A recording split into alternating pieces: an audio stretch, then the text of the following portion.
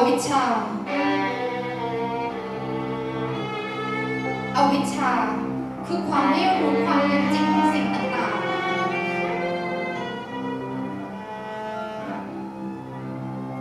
ไม่รู้ในความทุกข์ ไม่รู้ว่าอะไรบ้าง